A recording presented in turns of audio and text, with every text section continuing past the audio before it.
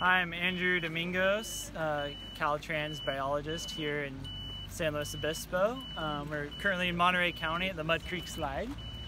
Um, I am an alumni of CSU Channel Islands, graduated in 2012 uh, with an emphasis in resource management.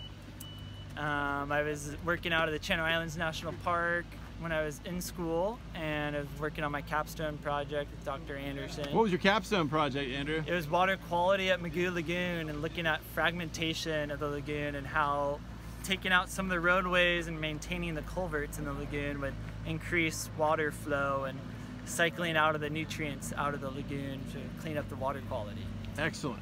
And yeah, after Channel Islands National Park, I've worked at Point Reyes National Seashore for about a year and got a position for Caltrans in Fresno. Worked out there for a year and a half, and now I've been with Caltrans for five years, three and a half in San Luis Obispo. Um, our zone covers from Santa Cruz all the way down to Santa Barbara County. Um, one of the best areas to work for for Caltrans with all the coastal resources that we get to manage. Um, bitchin' job. Channel Islands prepared me for this position with getting me out in the field um, doing a lot of work that sometimes you don't want to do. You're welcome. As You're Dr. welcome. as Dr. Anderson says, sometimes you just got to count caca, which is not always fun. But uh, yeah, you just got to be the person that puts in the time, puts in the energy, and hopefully.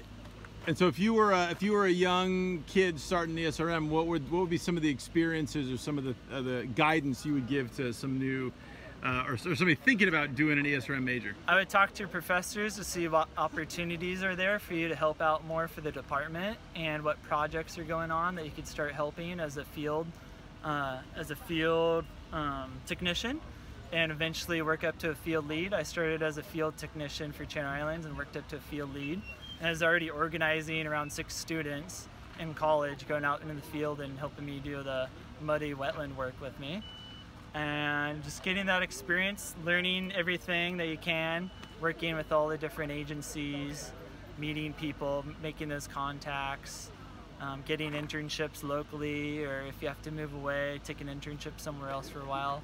Just getting out there and getting involved in what we're doing. Cool. All right, Andrew, Caltrans Bio, biologist. Woo woo.